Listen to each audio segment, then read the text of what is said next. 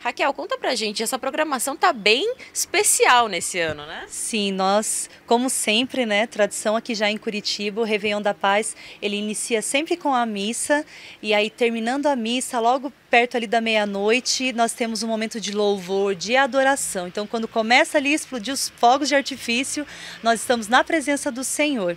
E na sequência nós pegamos um santo padrinho, que também já é tradição em toda a comunidade.